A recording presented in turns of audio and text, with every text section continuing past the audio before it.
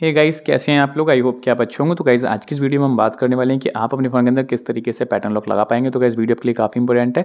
अगर आपने अभी तक हमारा चैनल सब्सक्राइब नहीं किया है तो आपसे रिक्वेस्ट है गाइस आप हमारे चैनल को सब्सक्राइब कर लें और बेल आइकन को प्रेस करना कोई ना भूलें। सिंपल सिंपल से स्टेप्स हैं, जो कि आपको देखने और फॉलो करने और आप अपने फ़ोन के अंदर सिंपल तरीके से पैटर्न लॉक लगा पाएँगे।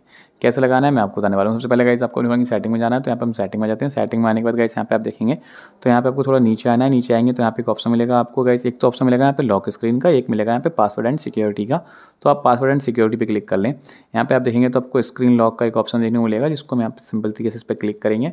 और यहाँ पे आपको पैटर्न का ऑप्शन मिल जाएगा तो हम पैटर्न चूज़ करेंगे। यहाँ पे आपको बोलेगा कि आप अपने पैटर्न को याद रखें। अगर भूल जाएँगे तो आपको अपना फ़ोन फिर रीसेट करना पड़ेगा, जिससे क्या है कि आपका सारा डाटा खत्म हो सकता है।